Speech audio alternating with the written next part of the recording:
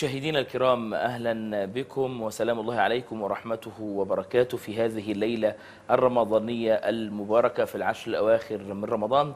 ودعوة على السحور. تمر الأمة في هذا التوقيت بأحداث جلل ما يحدث في غزة وانعكاسات هذا الحدث. وكيف يستفاد مما يحدث وما هي النقاط المضيئة فيما يحدث رغم الآلام والضحايا والشهداء الذين سقطوا ويسقطون حتى هذه اللحظة. ربما هذا الحوار يأخذنا في أبعاد مختلفة حول ما يجري في مصر وكيفية الاستفادة مما يحدث في غزة في غزة أو ما يقوم به أو ما تقوم به المقاومة في غزة على مناحي مختلفة ليس فقط على أرض المعركة القتالية لكن المعارك المتعددة من معركة الإعلام وإدارتها كذلك معركة الوعي ومساندة القضية. معنا في هذه الليلة وفي هذا هذه الدعوة على السحور الأستاذ ياسر الغرباوي مدير مركز التنوع للدراسات والاستشارات. أهلا بك أستاذ ياسر كل سنة وحضرتك طيب. السلام آه يعني دعنا ننطلق مما يحدث في غزة. يعني ما يحدث في غزة؟ آه ينظر إليه من جهتين. الجهة التي ترى وهي الجهة الأكثر والأعم ليست فقط في مصر لكن على مستوى العالم العربي والإسلامي والعالم. آه أجمع أن ما تحدث هي مقاومة مسلحة أبهرت المؤيدين وكذلك أيضا غير المؤيدين الذين يرون أن ما يحدث يتحمل مسؤوليته المقاومة رغم أن المقاومة من اسمها التي تقاوم العدوان هي رد الفعل وليست الفعل لكن بالفعل ما قامت به المقاومة في الفترة الماضية. أبهر الجميع سواء من الاستعداد النفسي سواء من الاستعداد التقني والفني. وكذلك أيضا استيعاب أن المعركة ليست ليست فقط على أرض على الأرض لكن أيضا هناك أجنحة أخرى إن صح التعبير جناح إعلامي جناح مناصرة وتأييد جناح نشر القضية. طبعا ما يحدث الآن من مقاومة أنا أحب أقول في فلسطين يعني عدم اختصار في غزة يعني هذا الجهد البطولي المبذول الآن والدماء التي تبذل. يمكن أن نقرأ في سياق أوسع. أنت الآن في منطقة ليس فقط فلسطين الآن التي تقاوم. المنطقة العربية أن تتحرر من أنظمة استبدادية قمعية حالة بينها وبين التعاطي مع القضايا الحقيقية في الأمة. فالآن ما تشهده تونس ما تشهده ليبيا ما تشهده مصر. أعتقد أيضا ما تشهده فلسطين. يعني هذا العقد الموجود حبات بين خيط ناظم هي المنطقة العربية. المشهد الآن الذي يعني حدث في في غزة. فرضت حرب ظالمة على على هذا القطاع ولم يسعى إليها المقاومين ولا حماس ولا الفصيل المقاوم ولكن فرضت حرب غاشمة من الكيان الصهيوني الغاصب على هذا القطاع المنتفض الرافض للهيمنة الإسرائيلية.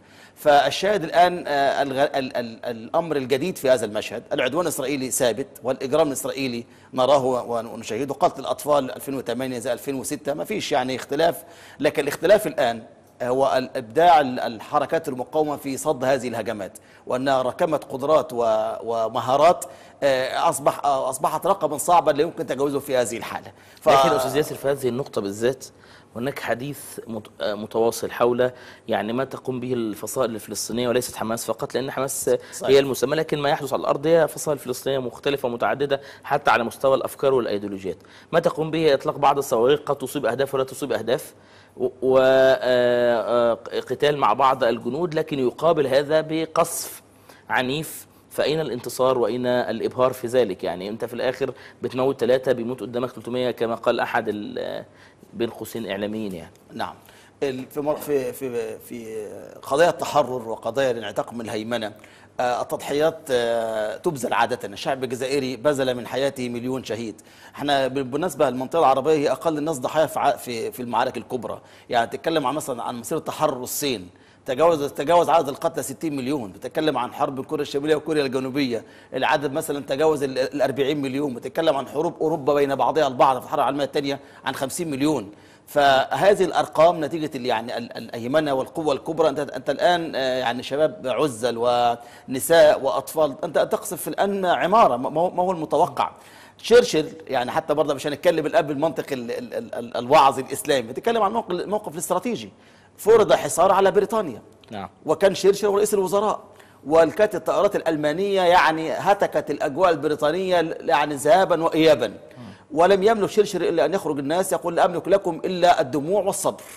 وعرض على الحكومة البريطانية التسليم حتى تحفظ البريطانيين. نعم. كفاية عم ضرب وتدمير لندن والقصف. كان وكان شرشر بالأمانة كان مستخبي قاعد في مكان مكيف وكل شوية طلع بيان صمود للشعب البريطاني. فصمد الشعب البريطاني وحوصل لم يجدوا السكر ولا الطعام ولا الأكل لم يجدوا حتى ما لهم إن هذا في ثوابك وإن لك أجر. لا كان الخطاب لا أملك إلا الصبر والدموع. لذلك صمدت بريطانيا. ثم جاءهم النصر أيضا من عند الله تغيرت موازين القوة وأصبحت لدى بريطانيا طائرات تقصف ال- الأماكن ال- ال- المصانع والمدن الألمانية. لذلك أنا نتعجب من هذا الكلام. حتى الإسرائيلي لا يقول هذا الكلام. في كاتب إسرائيلي كتب مقال لنتنياهو. نعم. وشبه إسماعيل هنيه بتشرشل قال نتنياهو يفتخر في مكتبه بصورة تشرشر. هذا الوزير رئيس الوزراء ال- العظيم الذي أنقذ بريطانيا وحول مسار الحرب في القارة الأوروبية آه، وفي بريطانيا تحديدا. وقال بالضبط الآن ما يقوم به إسماعيل هنيه هو ما يقوم ما كان يقوم به تشرشل في الحرب العالمية ضد ضد ضد هتلر. فأعتقد النظرة قصر المسألة في عدد الضحايا والقتلى. ما الذي قتل هؤلاء الناس؟ هل المقاومة حريصة على قتل الناس ولا ال- ال- الجلاد الذي يقتل الناس؟ من الخطأ عندما نقيم ال- ال- ال- المشاهد نقول أن ال- الذي قتل الناس هم حماس والا ما الذي قتل الناس في مراسم بحر البقر في الشرقية يعني إحنا إحنا مصر والشعب المصري شهد إجراما إسرائيليا وكانت الطائرات تستبيح السماء المصرية يعني ذهابا وايابا إلى أن بدأنا نجيب حائط صواريخ في سنه 73 نعم. قبل ذلك كان ممكن نحمل عبد الناصر يعني في هذه المرحلة كل طفل سقط الناس كانت تسعى والجيش المصري كان يقوي جبهاته حتى تمكن عبر سنوات أن يصنع حائط يمنع الطائرات الاسرائيليه من القصف. فالمقياس إن الحرب عدد الضحايا وعدد الناس هذا مقياس ضئيل جدا في الحروب. يعني لكن التضحيات شيء طبيعي في الحياة. طيب لو لو ركزنا الصورة أكثر على فعل المقاومة في في غزة. إحنا قلنا فيها أطراف مختلفة. في طرف على الأرض وده المقاتل بعتاد وقدر يواجه وقدر يأسر جندي آه، أعلنت إسرائيل إن هو مختطف أو يعني إن هو مش موجود دلوقتي حاليا يعني لسه هيعلنوا إن هو مختطف. آه، ده جانب. في جانب إعلامي وجدنا عز الدين القسام بتقطع القناة العشرة الإسرائيلية وتوجه رسالة باللغة العبرية. لقينا آه، على الإنترنت لجان إلكترونية شغالة.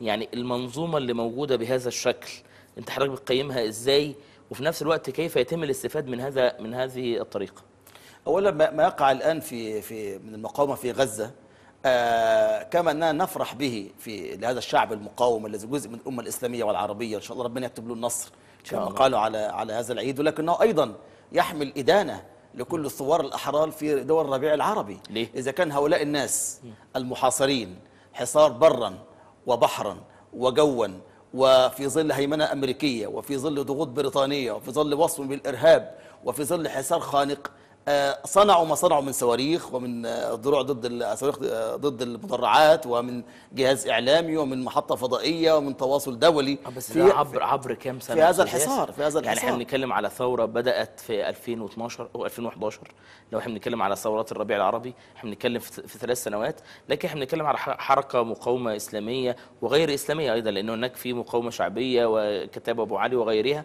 هذه المقاومة منذ احتلال فلسطين وهي وهي تعمل. فمجال الوقت وفي نفس الوقت وضوح العدو يبقى يجعل في اختلاف من هذه الطريقة وأخرى يعني. ما عشان كده اليوم بنتكلم في هذه الحلقة أن هذه التجارب تحرق المسافات للثوار ولاصحاب التغيير. أنا مش مضطر أقعد 10 سنين عشان أتعلم الدرس اللي اتعلمته حماس. أنا الآن يعني ال- الذكي من اتعظ بغيره الآن مثلا عندما اسروا الجندي الإسرائيلي آه، كان أول شيء عملوه أنه بدأوا يشيلوا الشريحة الإلكترونية التي كانت توصل المعلومات عبر الأقمار لل- للعدو الإسرائيلي لأنهم تعلموا من أسرى سابقين كان ياخذوا الأسير ويخطوه في نفس المكان وكان يتم قصف المكان نعم. آه، فتعلموا بالتراكم فإحنا أن نتكلم في هذه الليلة وبالتالي القارئ للتاريخ الذي يقوم بالتغيير إذا كان لا يقرأ ولا يتعلم من الآخرين فأنا أعتقد لن, لن يحصد أي نتيجة لا في الدنيا ولا في الآخرة طيب. يعني حماس ال- الفكرة الكبرى الآن كل عقد الآن القيادات التي تتحرك لم نسمع على لساننا فكرة المؤامرة بشكل دائم ولا مستمر ولا إن إسرائيل أقوى وما نقدرش نتحرك لا كلهم أمل في تحدي في إرادة في نحت في الصخر وبالتالي كمية الأفكار المعيقة في عقولهم أقل في نظري من كمية أفكار معيقة في عقل كتير جدا من الشباب المصري طيب والشباب العربي. طيب أنت حضرتك قلت نقطة مهمة أو كلمة مهمة عايزين نقف عندها شوية. آه كلمة المؤامرة يعني فور سقوط أو عزل الدكتور مرسي أو القبض على الدكتور مرسي الناس بتزعل يعني ايا كان الحدث في الآخر الدكتور مرسي مش موجود دلوقتي. ومحبوس وربنا يفك سجنه وسجن كل الناس اللي مسجونين بدأ الحديث حول فكرة أن أن هناك مؤامرة أكبر بكثير من الدكتور محمد مرسي وأن رجل بذل أقصى ما لديه و- وأصبح الأمر بدل الحديث حول بعض الأخطاء الذ- ال- التي وقع فيها الإخوان و- وفي القلب منها الدكتور محمد مرسي. بدأ الحديث حول تبرير آه، آه، ما حدث وأن ما حدث أكبر من أي جماعة وأكبر من أي تنظيم وأن ده كان لازم يحصل وأمر حتمي لابد منه عشان يحصل فرز أخذ منحى مختلف خالص آه، آه، من أنا خدت بس من كلمة مؤامرة بتاعت حضرتك نعم. فهل أنت شايف إن الاتجاه ده اتجاه آه، سلبي ينعكس سلبا على أداء الناس وإصلاح ما يمكن إصلاحه وإعادة ال... يعني إعادة مرة أخرى المواجهة بشكل فيه من المنطق والعقل والاستراتيجية طبعا اللي فضلت بيه سؤال مهم جدا وأعتقد يعني هو ساكن عقل العقليه العربية. فكرة المؤامرة وهناك من يخطط وهناك من يدبر ونحن مفعول بنا دائما على على طول المشهد. نعم. المؤامرة جزء من التاريخ لكن ليست هي كل التاريخ. واحيانا الناس تعتبرها فرصة وناس تعتبرها أنها أنها أنها مصيبة. لكن إذا أنت انطلقت أنا الآن جاي بالسيارة وماشي ولا قدر الله حصل لي حصل لي حادث. فالتفسير الاولي اللي خبطني ده هو اللي غلطان وأعمى ما بيشوفش. لكن بعد فترة أدرك إن أنا أنا دخلت طريق غلط ولم أعطي إشارة إن أنا متجه للجهة اليسار. فلو أنا ظللت إن أنا أنا الصح دائما لن أتعلم من أخطائي ابدا. نعم. يعني لكن الذي يتعلم من اخطائه من؟ هو الذي يعني يقول الممكن فتح حوارا مع المستحيل. قال ممكن للمستحيل. أين تكمن؟ تسكن فين؟ قال أسكن في أحلام العاجزين. ففكرة ان ليس في الإبداع أبدع ليس في الإمكان أبدع من مكان هذه فكرة قاتلة. لا وبالتالي الآن دي جزء من الفكرة واللي أصبحنا قدريين. يعني وبالتالي الذي الآن ده منطق إسرائيل يقول لحماس شو عايزين تروحوا الجنة؟ أنا بو أنا بوديكم أنا, بوديكم الجنة. بالقتل. صحيح. وبالتالي فكرة ان أنا على القدس بالملايين والشهداء التضحية لا قيمة لها ما لم يكن لها نتائج على الأرض. بطولة القائد وإبداعه ليس فيما يقدم من قتلى وشهداء ولكن فيما يحقق من انتصارات وإنجازات. الجملة دي تاني التضحية ليست مطلوبة لذاتها. آه. أنا مش مطلوب إن أموت عشان أموت. أو الشهادة للشهادة. أنت الشهادة في إطار لو فرضت علي أنني أسعى يعني في إطار معركة. لكن أنا داخل آه. بهدف إن أنا أموت دون أن أنظر لل- لل- لل- لل- للنتيجة وال- والجزء التراكمي لصالح الأمة لا هذا كلام كلام مش صحيح. طب خلينا يعني أصل الجملة دي مهمة جدا يا أستاذ ياسر ليه؟ لأن في الفترة الأخيرة بعد المواجهات اللي حصل بعد فض رابعه خلينا نتكلم بشكل تأصيلي وبنتكلم عن مصر بقى دلوقتي. طيب. آه بعد فض رابعه وبعد فض النهضة آه بدأ ينبري آه لغة خطاب وسط كثير من الشباب صغير السن اللي هو بنتكلم في 18 و19 و20 و23 فكرة إن إحنا آه، منزلة الشهداء. يعني كتير جدا بيكتبوا على الفيس قبل ما ينزل مظاهرة مثلا اللهم نولني الشهادة وصيتي كذا وكذا وكذا وأصبح وأصبح نزوله في المظاهرة وأصبح إن هو نازل بس في المظاهرة. هو ال- الرسم اللي في دماغه إن أنا عايز الشهادة. وفي كتير من الناس اللي كانت موجودة في رابعة ما كانش قضيتها إن مرسي يرجع وما يرجعش. إحنا جايين هنا عشان الشهادة. هل ده هل ال- المعنى ده كان معنى صحيح في هذا التوقيت ولا ده معنى غير صحيح؟ يعني اولا معنى التعلق بالقيم السامية وبالشهادة وبالجنة ينبغي أن تكون أمل كل مسلم. صحيح. والقتال هو جزء من الجهاد. يعني نعم. جزء من الجهاد والجهاد انواعه أنواعه شتى وكثيرة. ولذلك حصر فقط في القتال هذا أمر خطأ. وبالتالي الآن ان يعني آه، فكرة أن نازل عشان أموت فقط آه، ليس هذا هدف هدف إنسان محارب. لا أنت هدف الإنسان المحارب والقائد البطل المقاتل. ليس فيما عدد يقدمه من شهداء. والله أنا أنا الحمد لله خضت الجيش ومات نص الجيش. الله أكبر ونكبر على ان ونص الجيش أن ذهب إلى الجنة. سيدنا فكرة بردك الحصر العقل المسلم إما النصر أو الشهادة كلام خطأ. سيدنا عم عم خالد بن الوليد قال إما النصر أو الانسحاب. في, مؤتة. يعني ما قالش إنها هكمل لحد الآخر. لا بس أنت بتكسر كده في, في, في, في يعني النصر والشهادة دي كانت دايما يعني كل الناس متعارف عليها أو بيتقال دايما إن إحنا ندخل المعركة إما نصر أو إما شهادة. ماشي إما النصر إما الشهاده كهدف كبير لكل ال- ال- المقاتلين والناس اللي داخل كجندي. لكن أنا كقائد جيش أو كمسؤول عن عن تنظيم أو مسؤول عن فصيل يبقى أنا مخطط النهارده إن نص الجيش سيموت والنص الثاني يرجع. مفيش قائد عسكري عمل كده. يعني سيدنا خالد في حياته كلها لم يهزم في معركة قط نعم. وسمي سيف الله المسلول. رأى في مؤتة المشهد غير مواتي لإحراز النصر. كان ممكن يغامر مثل ما غامر الثلاث صحابة الذين قبله. قاتلوا حتى يعني حتى قتلوا واستشهدوا. ولكن خالد رأى الأمر مختلف تماما فآثر أن يعود بجيشه وأن يستعد لجولة أخرى يكون فيها أمكن ويكون فيها أحسن. فلا ينبغي أن يكون تفكير القائد هو السعي فقط إلى تقديم أكبر عدد من الضحايا. لذلك بطولة الأمم أن تحصل ذلك يعني ذكرتني بالمقارنه بين فرنسا وبريطانيا. فولتير وفيلسوف فرنسي. آه، عمل ملاحظة خطيرة جدا. يقول الشعب ال- ال- البريطاني قدم قليل من الدماء وحصل على كثير من النتائج عكس الفرنسيين. نعم. قدموا كثير من الدماء وحصلوا على نتائج أقل. ليه؟ كان سؤاله. ليه في شعب عشان يتعلم المعلومة ممكن يقتل منه 5 مليون وفي شعب ممكن يموت 500 يموت 500 ألف يتعلم الدرس؟ لذلك شوف الآن مثلا على جانب آخر التعاطي مع الاسرائيليين وفكرة الفزع من الصواريخ والدخول للملاجئ. لذلك أنا أتمنى إن شاء الله على حماس مرحلة قادمه أن يتم بناء ملاجئ في داخل غزة. لا لا ينبغي أن يظل الشعب الغزاوي تحت قصف الصواريخ. المرحلة الجاية إن شاء الله من دروس هذه المعركة أن يتم بناء ملاجئ حتى نقلل عدد الضحايا الموجودين. وبالتالي آه، يعني ترك الناس في العراء إذا كان ليس في جهدي okay. لكن المرحلة القادمة الدرس القادم ينبغي أن أقلل عدد الضحايا من خلال أن نوفر طب سؤال فولتير جاوب عليه ولا ما جاوبش عليه؟ آه سؤال فولتير بدأ يجاوب عليه. آه. إن هناك أمم تتعلم بالعصا في أمم تتعلم بالورقة والقلم. أنا الآن لا ينبغي أن أكرر نفس الأخطاء التي وقعت فيها آه، سابقا وبالتالي كان في عدد عدد عدد من من من القتلى. فبالتالي أنا هدفي في أي في أي مرحلة في أي صراع أن أحقق النتائج.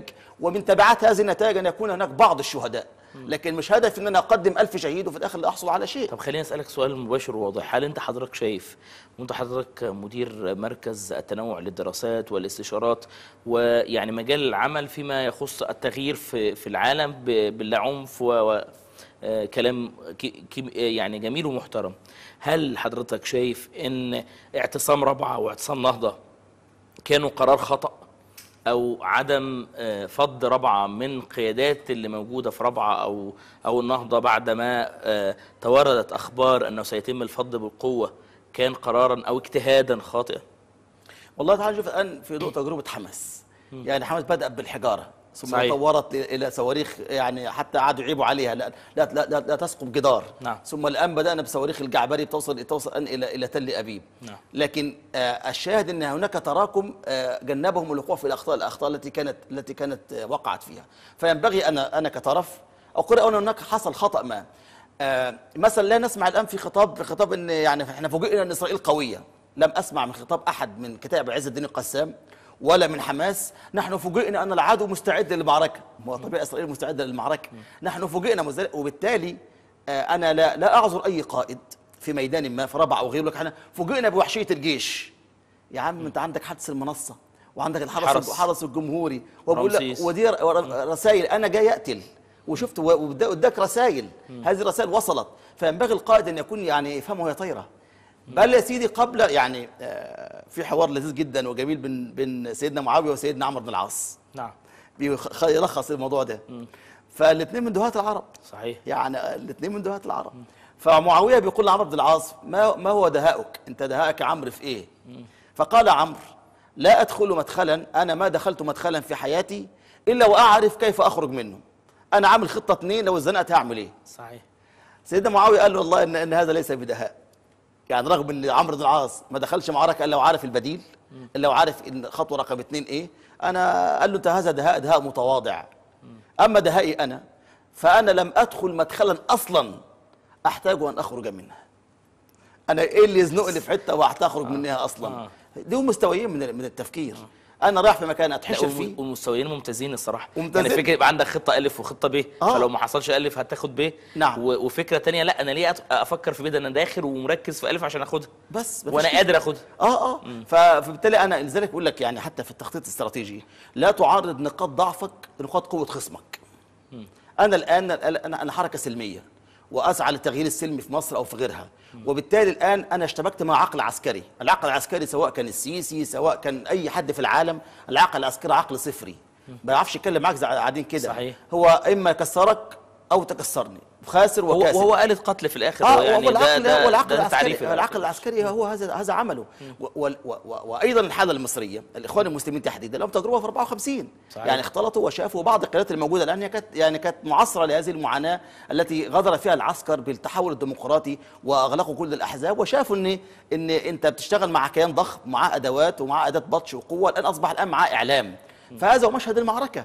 فكان ينبغي يعني في نظري طبعا ابن القيم وإحنا قاعدين يعني قاعدين في المكيف. صحيح. لكن رحم الله جميع الشهداء عند الله سبحانه وتعالى. لكن أنا بتتكلم الآن فيما هو قادم. صحيح. هو هو طبعا عشان يبقى الأمور واضحة إحنا موضوع ال- الذين قتلوا نحسبهم شهداء إن مش- شاء الله آه، بإذن نعم، الله. نعم،. والذين اعتقلوا آه، نعتبرهم أبطال وإن شاء الله هيخرجوا بألف سلامة. نعم. لكن هي الفكرة اللي حضرتك بدأنا فيها الحوار من الأول.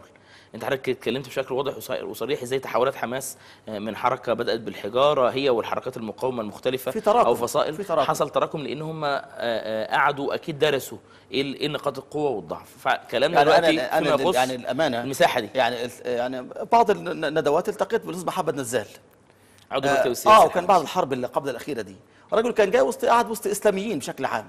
فتلقى نقدا أنا أعتقد لو تلقاه أي حد في مصر كان ساب المكان وخرج. حتى الراجل قال يا جماعة وأنا جاي قاعد مع مين يعني؟ الناس كانت عندها أسئلة حادة جدا. إيه الخطة دلوقتي؟ الاقليم غزة محاصرة. كيف ستقاتلون؟ هذا النقد اسميه النقد الخالد. أنا استغربت جدا امبارح وأنا بقرأ في في سورة الأنفال. يعني آية وأعدوا لهم ما استطعتم من قوة من رباط الخيل. أنا فكرتها مثلا جت قبل بدر ولا نزلت مثلا أيام ما كان الصحابة لسه بيتضربوا في مكة. هذه الآية نزلت بعد انتصار بدر. يعني المفروض الناس منتصرة. وعملت منجز يعني معركة الفرقان. صحيح. لكن الخطاب القرآني قال لهم اللي حصل دي ما كررش تاني. تخرج في معركة وانت مش مستعد ومعاك جمالين وكم فرس وتحاول تحارب قريش واعدوا لهم ما استطعتم من قوة من رباط الخيل. لا ينبغي أن تكرروا خطأ بدر. أنت متخيل رغم إن في نصر؟ الآية نزلت بعد هذا النصر. النصر جه بستر الله سبحانه وتعالى الملائكه أيدت ونصرت. لكن ربنا بيخاطب النبي ما تعودوش على كده. المعركة لا إعداد وهناك استعداد. وسنن الله لا تحابي أحدا. لذلك جت أحد. حصل خطا خطأ عسكري قتل 70 صحابي. نعم. فسنن حتى يقول الشيخ محمد عبده في تفسيره المنار سنن الله سبحانه وتعالى لو تنكبها نبي لغلب. في سنن تمشي عليك ولذلك أنا مما كتبته أخيرا كان الله بالنصر والعون مع مع فيتنام عندما أحسنوا التخطيط. وكان النصر حليف حزب الله عندما قاتل ندا لند مع إسرائيل. وكان النصر حليفا لماو ستونج عندما كان يقاتل تسع دول. خب بالأسباب فجاءه النصر. الآن ان شاء الله نشهد في في حماس؟ تجربة جديدة آه، أخذ بأسباب استعداد آه، قدرات عالية جدا كما نقول العرق في تدريب يوفر دم في المعركة. لا يفاجئوا بشيء. عارفين إن في توغل بري ومنتظرين هذا التوغل البري. نعم. وبالتالي وقع العقل الإسرائيلي متغطرس في هذا في هذا المستنقع. لكن الطرف الثاني الهجوم البري إحنا إحنا كمدنيين يا حرام وربنا يكون في أهل غزة ومساجد بتبكي. القاعد في كتائب القسام لك الله يا رب يجوا. يعني القاعد في كتائب القسام في الخندق ينتظر هؤلاء الناس لأنه عنده الخطة واحد واثنين وثلاثة وأربعة. كنت أستمع المتحدث الإسرائيلي يقول إسرائيل بنت آه، منظومة استراتيجية خطيرة جدا من الصواريخ ومن الأنفاق. يعني هو بتاع حماس بيعمل إيه دلوقتي؟ حاسس إنه عنده سلاح الجو متفوق عليه. أقول لك بقى هقدم الشهداء بالملايين. ومش مشكلة نطلع نحارب كده وربنا يسترها إن شاء الله. لا إيه الحل؟ ما عنديش مضاد الطائرات ولا عندي صواريخ تسقط الطائرات الاف 16 إيه هو الحل؟ الأنفاق. فكان وسيلة إبداعية تجنب بها هذا السلاح القاتل. وإلا طبعا هم يعني أكيد أكثر حرصا منه منك على الشهادة. نعم. أكيد أكثر حرصا منه منك على الإخلاص. كل ما كل ما ما نسمعه متوفر فيهم. بس لكن هل- في النهاية هم يبحثون عن النصر. طيب أستاذ ياسر هل إحنا عشان ما يكونش في جلد للذات آه، المعركة في فلسطين معركة مغايرة. يعني في عدو واضح منذ اليوم الأول منذ آه، يعني ولادة الطفل الفلسطيني آه، وهو يعلم أن هناك عدو اسمه إسرائيل أتى ليقيم دولة على جثث أهله. الوضع في الثورات العربية لو بنتكلم عن مصر بشكل خاص لا هو الموضوع إحنا بادئين الثورة الجيش والشعب ايد واحدة. ده إحنا بادئين الموضوع الجيش حمى الث- حمى الثوره آه، بعد ذلك حصل تحالف مع مع- الجيش من من قبل بعض الإسلاميين أو الإسلاميين وبعد كده آه، بقى الجيش آه، الجيش القاتل. فأنا قصدي آه، المعركة هنا غير المعركة هنا بشكل أو بآخر. وفي نفس الوقت إحنا بنتكلم هنا عن آه، عدو حقيقي وبنتكلم على هنا عن أهلنا. يعني في الآخر الجيش ده هو أهلنا. طبعا طبعا طبعا. آه ما إحنا قبل نتكلم إن الآن حصل تراكم. عندك مثلا ثلاث سنين في مصر الآن. نعم. طب الآن الأحداث أسفرت. من الذي مع الثورة ومع الحرية والعدالة والمساواه ومن هو ضد ضد هذه هذه المبادئ؟ فمش هنقعد بقى خلاص يعني ما مضى. أنا نتكلم ما مضى قد مضى خلاص بين يدي الله سبحانه وتعالى. نعم. الآن أنت توصل لمرحلة جديدة الآن للانطلاق. يعني مثلا أهداف حماس الآن إيه؟ مفيش لا طالبه هدف فئوي ولا هدف إن اسمها إن هي يظل رئيس وزراء ولا هدف انها تقود السلطة. هدف الآن حماس المعلن إنهاء الحصار والتجويع على قطاع غزة. نعم. هدف يشمل وده هدف كل الفلسطينيين عليه. وهذا كل فلسطين. فبالتالي الان من الحكمة أنت كثائر أن تعرض هدف مجمع عليه يعني مثلا طيب يعني يعني, هدف حلو قوي موضوع هدف هدف, مجمع عليه مجمع عليه. دلوقتي في الناس. اختلاف يعني خلينا نتكلم على أرض الواقع في اختلاف هناك من ينزل إلى الشارع ويرفع آه، شعار عودة الشرعيه عودة الدكتور محمد مرسي ويرى أن هذا هو السبيل في الحفاظ على صوته واستحقاقات الانتخابية والحرية وأنه رئيس رئيس شرعي وهناك من يرى أن الأمر تجاوز الدكتور محمد مرسي بكثير وأن أمر الحريات والاعتقال واعتقال الفتيات واغتصاب بعضهم والتعدي على حرمات الله في كل المكان تجاوز بقى فكرة أساسا الشرعية. خلاص إحنا إحنا أساسا ما فيش حرية عشان يبقى في شرعية. فأصبح الأمر مختلف. نعم. آه، أنا عجبني كلام كنت أقرأه في في توصيف وقراءة نقدية لحسن البنا. نعم. حسن البنا يعني هو مؤسس جماعة الإخوان مؤسس المسلمين جماعة المسلمين إخوان المسلمين ورمزيه وطنية وقام لا يمكن يعني بأي مهما اختلفنا لا راجل له جهد وطني وإسلامي كبير. مما عجبني في طريق أحد الكتاب عن حسن البنا. نعم. قال حسن البنا كان يتنقل بين الوسائل كما يتنقل العصفور بين أغصان الشجر. في فترة ما بدأ مع النضال عمل تنظيم السري عشان يقاوم الإنجليز. بعد كده بدأ في في نشاط دعوة عن المقاهي سابقا. ثم انتقل لنشاط دعوة آخر في عن, عن طريق إنشاء الشعب. ثم انتقل فكر ينزل انتخابات البرلمانية أيام النحاس. صحيح. كان لم يقدس وسيلة ما. بل حتى في آخر عمره لما يقيم تجربته رأى أن لو استمر في المسار التربوي التربوي الوعظي الإرشادي كان أفضل. يعني كان يقول رحمه الله لاستقبلت من عمري ما استدبرت لعدت إلى زمن الأذكار فالرجل كان حتى كل مرحلة بيقيم بيقيم أداءه والسلة التي التي صنعها وما الذي كان ينبغي ما الذي كان ينبغي أن يتجنبه. أهم شيء في حياة أي حركة للتغيير والثورة أن تجيب على هذا السؤال. ما هي المعارك التي ينبغي ألا تخوضها؟ المعارك التي التي لا ينبغي لا ينبغي. التي لا ينبغي أن تخوضها. في مش كل انت يعني حماس الآن. ما- مش فاتحه نفسها على العالم كله. ما بتحاربش الدنيا كلها. تقول العدو الإسرائيلي وفقط في داخل إسرائيل. حماس لا وفي. وفي المعركة دي بالذات يا أستاذ ياسر أيضا نعم. طلعت رسائل محددة. نحن نحارب العسكريين.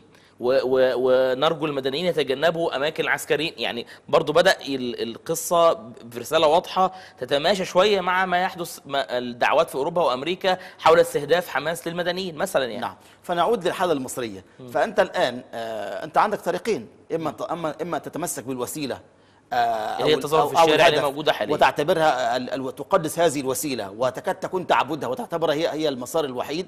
وبالتالي لا تلوم الشعب إذا لم يستجيب معاك. يعني انت أنت مصر على هذه الوسيلة الوحيدة. في واحد تاني الآن قلبه وجعه على البنزين. جدا. في واحد تاني الآن مش قادر الآن لم يستلم حصه التموين. في واحد الآن جاي العيد ومش لاقي ملابس لأولاده.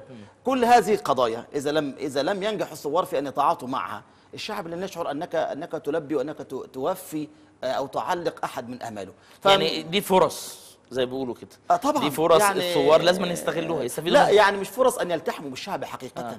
الناس الفقراء والمساكين والبسطاء. في بعضهم قال لم يسمع محمد مرسي ولا شاف محمد مرسي. يعني في أحياء كبيرة ما تعرفش دي مشهد إحنا بنتكلم في إيه. خش قرى الصعيد النجوع. آه الناس الآن يعنيها أمر المعاش وأمر الطعام. بس برضو في يعني برضو في جزء نفسي. وليس هناك تعارض. أنا بقول يعني أنا بقول لك أنت أنت مصر على هذه الوسيلة. ومقتنع إنها جيدة كمل وربما تنجح. بس قصدي التكلفة بتكون عالية شوية. بس في جزء نفسي يا أستاذ ياسر يعني خلينا نكون واضحين. في آه، آه، جزء من الثوار أو جزء من ينزل إلى الشارع آه، قابل ما يحدث الآن في مصر على المستوى الاقتصادي آه، في الناس الغلابة والفقراء أحسن. مش هم اللي جابوا السيسي؟ خلاص بقى يشربوه. آه، مش هم خليهم يدوقوا بقى اختيارهم خليهم يشوفوا إن كان ممكن يعني ال- الحالة دي برضو الإنسان الإنسان بشر وبني آدم يعني يعني ده هل ده شيء مبرر؟ وإزاي الناس تخرج من الشعور ده إلى الشعور الآخر المتعلق بفكرة المسؤولية إن أنت مسؤول عن الناس دي حتى لو أنت مش في السلطة؟ آه يعني أح آه أح يعني اليوم نقرأ مع في التراويح يعني اليوم في التهجد. وما أرسلناك إلا رحمة صلى للعالمين الله عليه وسلم. لم يكن إرسال الرسول عليه الصلاة والسلام إلا رحمة لهذه البشرية ولها- ولهذه وللناس أجمعين. كافرهم ومشركهم وإلى ما غير ذلك. فالقائد هو بائع الأمل. أنا الآن بقول للناس سأنقلكم إلى فضاء إلى مصر أخرى إلى العدالة والحرية والمساواة. فإذا كنت أنا بهذه النفسية فيها الشماتة والحقد وأن أقول خلي الناس تتعلم. خلاص أنت لم تفرق عن عن الجلاد. فينبغي فينبغي أن يكون ال- الذي يقوم بالتغيير هو بائع الأمل للناس وأن يفهم حقيقة الجماهير.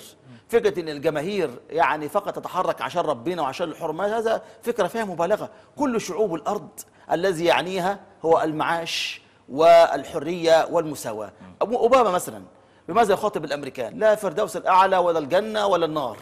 خطتي يا جماعة في الخمس سنين اللي همسك فيهم أمريكا سأعدل نظام الضمان الصحي عشان تلاقي علاج كويس وابنك يتعلم كويس وتلاقي الحليب لابنك الصبح وتروح الطريق تلاقي طريق كويس. هو ده الكلام الذي يخاطب نخاطب به الناس. لذلك الإغراق في قيم الشهادة الإغراق في أن نزولك في مظاهره سيقودك للجنه هذا هذا هذا كلام ينبغي يعني يتم كلنا كمسلمين عارفين إن كل عمل نحن مستعبين عليه. لكن أن لابد أن تعد الجماهير بإصلاح أمر الأرض. وأمر السماء هي بين يدي الله سبحانه وتعالى. يعني أنت أنت أنت تتحرك في مجتمع فيه المسلم وغير المسلم والمسيحي وغير المسيحي الآن فضاءات في المجتمع المصري مش بس المسلمين صحيح. فالخطاب الإسلامي بي- بيصلح لشريحة من الناس.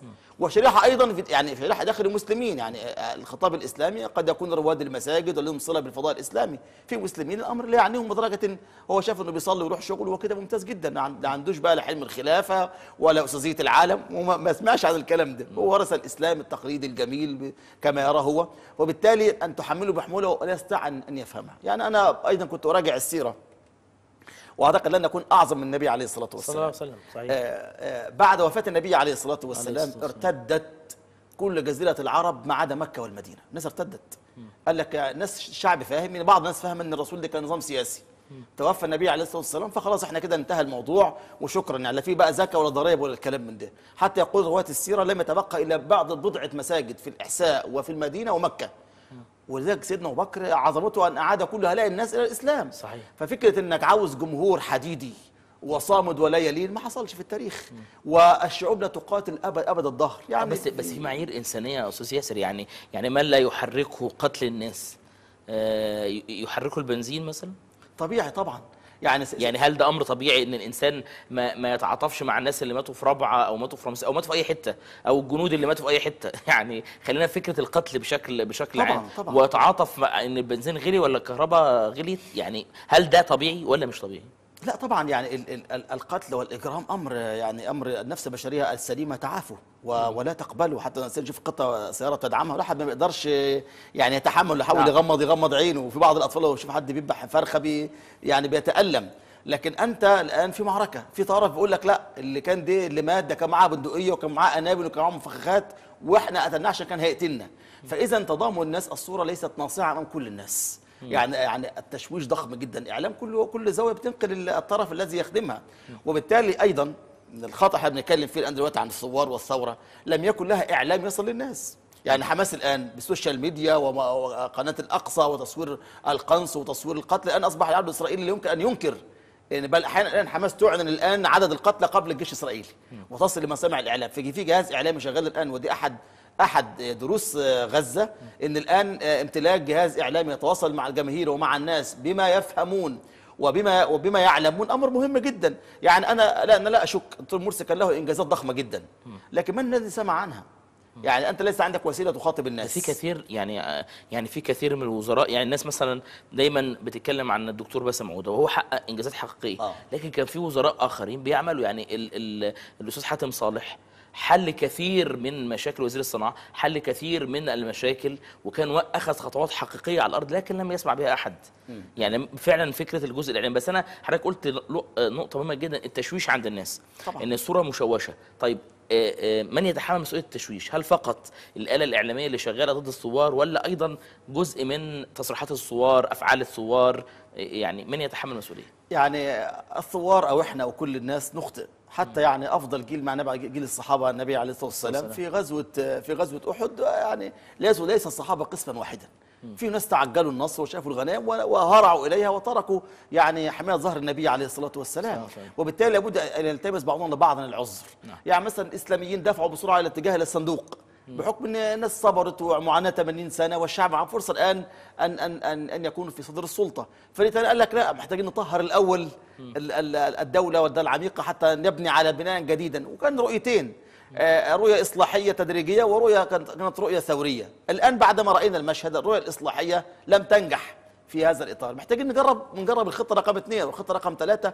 وبالتالي فكرة بقى ان إن إن نجرب الآخرين وان لا الاخرين قد يكون شوش عليهم بالإعلام شوش عليهم بالمواقف شوش عليهم تصريحات خطأ. يعني لم يكن كل ما يقال عن منصة رابعه يعني يعني يصنع حشدا من الناس. يعني وبذلك كان ينبغي تقويم الخطاب بدرجة بدرجة من الدرجات. آه، آه، تصريحات آه، الدكتور مرسي بعض المراحل تصريحات طبعا هذا لا يبرر.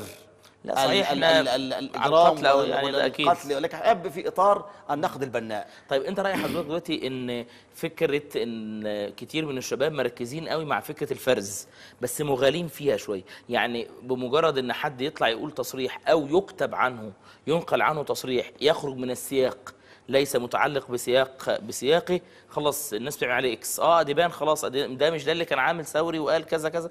مع إن ربما يكون له رؤية مختلفة. ممكن ربما يكون له اجتهاد آخر. فكرة الحدية في التعامل مع فكرة الرموز وال... و... و... ونعلم على الناس يعني من الآخر.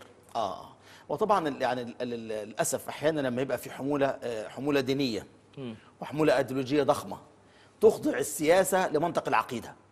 العقيدة قايمه على الولاء والبراء. يعني فكرة نعم. العقيدة ولاء والبراء والإيمان والكفر. مساحات السياسة هي مساحة اجتهاد سياسي. يعني من الصحابة من انفض عن الحسين. حفيد النبي عليه الصلاة والسلام قتل والصحابة ما قدرش يتدخلوا وتركوا الحسين وأهله يقتلون. يعني هم لم يسمعوا أو لم يوافقوا على خيار سيدنا الحسين. هذا الخيار الثوري. ضد يزيد وهو أفضل جيل من الناس أفضل جيل بعد النبي عليه الصلاة والسلام وحفيد النبي عليه الصلاة والسلام. لكن شافوا إن خيار سيدنا الحسين إن في تسرع وإن لم يكن فيه خطة وإنه انخدع ببعض الصور قالوا تعالى إحنا معاك وبالالاف والملايين وفجأة راح راح راح كربلاء لم يجد. النصرة التي كانت التي كان التي كان يتخيلها. فموقف سيدنا الحسين شبه أهل الجنة بيتكلم على الشهادة عند الله سبحانه وتعالى لكن الموقف الاستراتيجي كان يحتاج إلى تقييم آخر. يعني أن تنزل في معركة وليس معك عدد من الأنصار تشتبك بجيش قوي. آه، فكتير بعض الصحابة تركوا الحسين. نعم. فينبغي وبالتالي يعني وكان لهم ليه اجتهاد ده, ليه ده كان اجتهاد سياسي؟ كان اجتهاد مش سياسي. ع... مش عقائدي. ما كان اجتهاد سياسي وكان يعني الصحابة قتل بعضهم بعضا ولكن لم يكفر بعضهم بعضا. واحد بيرى إن لا إصلاح إن ال إن ال ال ال ال ال ال الأفضل سيدنا علي وأنه الأولى كذا ومعاوية كان يعني سيدنا معاوية قد. لكن هذا وسعهم لم يكفر بعضهم بعضا. فأقصد مساحة الاختلاف السياسي لابد أن نقبلها. لابد أن نقبلها يعني خلينا نتكلم بشكل واضح. هناك من يرى أنه آه، رفض ما يحدث في مصر وأنه انقلاب عسكري يعني في كتير من الناس شايفين إن أو يعني قطاع كبير إحنا بنتكلم على الثوار أو معظم الثوار الحقيقيين يروا إن ما حدث في مصر انقلاب عسكري لابد من مقاومته. هناك من يرى أن مقاومة الانقلاب برفضه بالكليه ومحاولة إسقاط النظام وهناك من يرى أن إسقاط النظام يكون من التداخل مع النظام. فيبقى تعالى تعالى نكسر قانون التظاهر تعالى نتكلم عن الحريات تعالى ال- للأسف الشديد إن بعض هؤلاء وبعض هؤلاء يتراشقوا فيما بينهم إن آه يا عم أنت يعني قبلت الدنية والتاني يقول له أنت واهم بتتكلم في وده يفتت الصف أو بالفعل هو مفتت يعني. نعم. يعني الآن ده برضك نرجع لفلسطين الملهمه نعم. والدرس الكبير جدا. الآن كل أمل حماس وكل أمل الصادقين في فتح أن يحصلوا على المصالحة وعلى سلطة واحدة تمثل كل الفلسطينيين. أدركت حماس بعد هذا العقد من النضال والدماء أن ينبغي أن يتحد الفلسطينيون أن يتحد المسار التفاوض السلمي بقوة مع مسار السلاح. وبالتالي الآن أحد شروط حماس الآن لل- للمصالحه في غزة الا توجد إسرائيل حكومة السلطة حكومة السلطة، الموحدة. صحيح. يعني هذا طلب الناس لابد ان أن- أن ترعاه. يعني حماس مع قدرتها ومعها قطاع ومعها سلاح أدركت لابد ان أن تكون معها الضفة. وبالتالي الآن عودة المسار ال- التفاوضي لابد أن أن تتفاوض لكن بقوة. ليس ك- ليس على طريقه أنك تسلم تسلم كل أوراقك. وأيضا آه، لذلك إبداعات حماس الآن في برنامج سياسي للمقاومة. نعم. يعني المقاومة أي عمل عسكري وعمل سياسي جهد اجتماعي أو جهد عسكري. ليس له برنامج سياسي سيؤول للفشل. سيؤول للفشل. لذلك الآن مثلا السؤال المطروح الآن على تحالف دعم الشرعية. الآن آه، مقول عوده عودة الرئيس مرسي.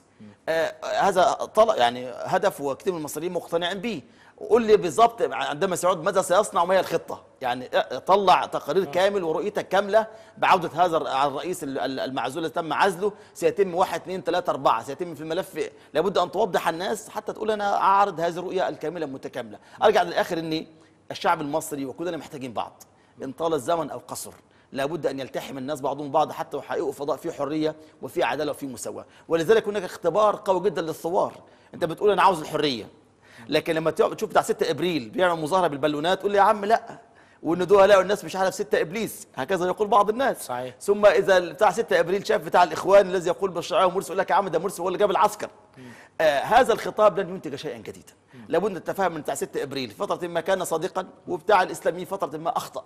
بهذا الخطاب يمكن أن تبني أو أن تتحرك في هذا في هذا المسار. طب أستاذ ياسر خلينا نتكلم في اللي جاي. اللي جاي بيقول آه، هل الناس آه، في في شعورين عند الناس. في شعور يرى أن الانقلاب آه، يندحر وينكسر و- وترنح. وترنح وهي كلها سويعات والأمر ينتهي إن شاء الله بإذن الله. هناك من يرى أنه لا يعني إحنا خلينا كده في جيل ولا جيلين بعد خمسين سنة إن شاء الله بإذن الله عيالنا لو بقى في عيال يعني هيجوا هم اللي يعملوا بقى إيه ال- الثورة.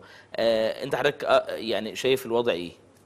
والله من جد وجد ومن زرع حصد يعني في حاجات بسيطة أنت عندما تعمل في خطة واضحة ومسار واضح تحصد نتائج وسوف تأتيك الفرص. ولذلك آه، في قانون كده في التغيير مهم جدا يعرفوه الثوار والناس. في قانون اسمه قانون الفرصة وقانون الجاهزية. نعم. أنت أنت ككيان ثوري أو فصيل ثوري قد مثلا قد تختار إنك يعني تكمن فترة مش هتحرك أوكي براحتك. ما مش غلط. ثم إذا جاءت لك فرصة وأنت مش عندك جاهزية هذه الفرصة لا قيمة لها. مثال الآن مثلا أنت كنت عاوز آه، جماهيرية وعاوز شعبية وبتشتكي إن ما حدش معاك وبتنزل المسيره الناس كانت بتضربك في الشوارع وكذا الآن جاء جاءت فرصة الناس الناس فوجئوا إنه لا في بشرة خير. ولا إن في شيء وبرضك رجعنا للفنكوش تاني ولكن بمعنى آخر لا طلع عبد العاطي ولا طلع C ولا طلع B. صحيح. فبدأ الناس بدأ يتكشف الطرف الآخر إنه لا يملك رؤية ولا يملك حتى مسار بل ضغط على الناس ضغطا شديدا. هذه فرصة في وجود احتقان اقتصادي وسيظهر اثره أكثر في الأيام القادمة. وأنت أيضا المفترض إنك ثائر هذه فرصة. لكن انت إذا لم يكن عندك جاهزية وانت مصر إن هو مسار واحد وطريق واحد وسكة واحدة وإنه فقط شعار الشرعيه هو الذي سيكسر الانقلاب أنت مخطئ. يعني من التجارب اللي أنا درستها وكانت جميلة جدا وفوجئت بها صراحة. آه، بريطانيا احتلت الهند. أمد بعيد جدا صحيح. والهند كانت سوق كبيرة جدا. بدأ يظهر غاندي. غاندي كان راجل محامي عايش في حاله وقال لك لا يا عم نبدأ نقاوم. رجع من جنوب أفريقيا شاف التجربة قال لك نبدأ نقاوم في الهند. طب يعمل إيه مع الاحتلال؟ لا لا سلام ولا كلام ولا نقعد معاهم. قال لك لا ما أقدرش أنا أبدأ صدام مباشر. نبدأ نكسر القوانين بتاع بتاع الاحتلال البريطاني. بريطانيا تحتكر بيع الملح تحتكر إنتاج الأقمشة. قال لك طب خلاص تعالى نبدأ نجرب نفسنا في حاجة كده إيه بالراحة حبة حبة. فقال لك لا احتاج أن نكسر قانون الملح. الملح ينتج من الشعب الهندي ومش هنشتري ابدا من بريطانيا. وبدأ يتحرك في مسيرات للناس يا جماعة ننتج الملح عشان نملك التحرر التحرر الاقتصادي متخيل بيحارب الاحتلال بالملح, بالملح. لا بنادق ولا ب- بطبنجات. هو بدأ بمسار ان بدأ يفهم الناس بناء وعي وتراكمي إن هذا المحتل بياخد خيرك إن الملح يحتك بمصلحة الناس بشكل الملح في. كل بيت. الملح في كل. بيت بيدخل كل بيت وعلى كل مائدة هندية. طب نعمل إيه؟ آه، بريطانيا منع بناء مصانع الملح. هو الملح بيتباع بس فقط آه، صناعة بريطانية. إيه الحل؟ بدأ يطوف في القرى. ظل آه، غاندي يطوف عامين في القرى. راكب القطر ماسك ال- السروال عامل بنسجه والمعزة بتاعته ويطوف في الهند حتى يعلم الناس كيف نقاوم الاحتلال. بوسيلة مبدعة. فبدأ قال لك إيه الحل؟ إيه يا جماعة؟ خلاص الملح بيجي منين؟ من البحر. إزاي؟ بنسخن المية ناخد الملح. فتحرك ملايين الهنود إلى سواحل الهند بالمواقد المواقد المواقد الموجودة منهم والخشب والحطب وبالأواني يغل- يغلو الماء حتى يحصلوا على الملح وتحرروا من القانون الملح البريطاني. نجح في هذه المرحلة عمل تراكم بنى قدرة بقى معاه شعبيه وجماهيرية. انتقل لخطه رقم اثنين لابد أن لا نشتري إلا منتج الهندي فقط. لابد أن نقاطع الأقمشة الأقمشة البريطانية. وبدأ بنفسه. الراجل بدأ يغزل ملابسه بنفسه أمام الناس جميعا ويلبس مما مما ينتجه المجتمع المجتمع الهندي. نجح في الخطة رقم اثنين طب بريطانيا الآن اللي بتبيع ملح واللي بتبيع أقمشة وعندها قوات عسكرية وأصبح الاحتلال تكلفته أكثر من أكثر من تكلفة ال- الاستفادة اللي تعايد عليه. قالوا تعالوا تعالوا نتفاوض. تعالوا نتفاوض وتركوا وتم تحرر الهند. فالقائد وبائع الأمل اكسب بالنقاط ذلك الخطا الكبير جدا. ما فيش ثورة في العالم تكسب بالضربة القاضية. الثورات تكسب بالتراكم. أنت بتبني تراكم وعي عند الناس. والمقاومة يعني مثلا مما مما درسته وأعرفه. المظاهرات هي وسيلة واحدة من 200 وسيلة للنضال السلمي. 200 وسيلة. 200 وسيلة. آه. انت قاعد ماسك في في وسيلة واحدة إحنا وتست- هنحتاج هنحتاج حلقتين نتكلم على 200 وسيلة. واستهلكت هذه الوسيلة ومقدسها بشكل كبير جدا ومصره أنها هي المقياس وأنها الولاء والبراء. من نزل في المسيرة فهو مع مع الحق نعم. واللي قاعد في البيت مع الباطل. لا يا عم. لا شوف شوف النموذج ال- ال- ال- الإيراني في المقاومة. شوف نموذج تشيلي في المقاومة. الناس كانت بتقاوم بالأغاني. وأشكال أخرى. ما أفهمه منك أخيرا أستاذ ياسر آه، إن لو إحنا بنتكلم على الثوار هو عندهم واجب إن هو يشتغل على آه، على مستوى الفكر وعلى مستوى الجاهزية وعلى مستوى الجماهيرية. قبل أن يطالب الناس بأن هم ينضموا ليه أو يكونوا جزءا منه. في نهاية هذه الحلقة والدعوة على سحور أشكر الأستاذ ياسر الغرباوي مدير مركز التنوع للدراسات والاستشارات والشكر موصول لكم أعزائي المشاهدين على طيب المتابعة إلى أن نلقاكم في سهرة جديدة لكم كل التحية وإلى اللقاء. نبدأ بقى. ناس